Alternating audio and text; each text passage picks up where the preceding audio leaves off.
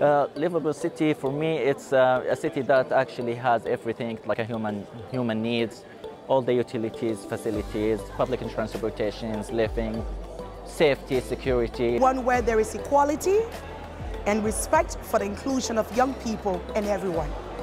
To be at home and uh, to be accepted. Balance both your external and internal needs.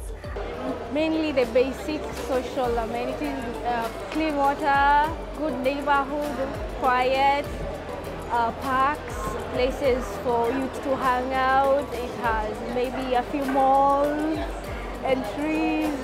Sustainable and smart. The first word that comes to my mind is diverse.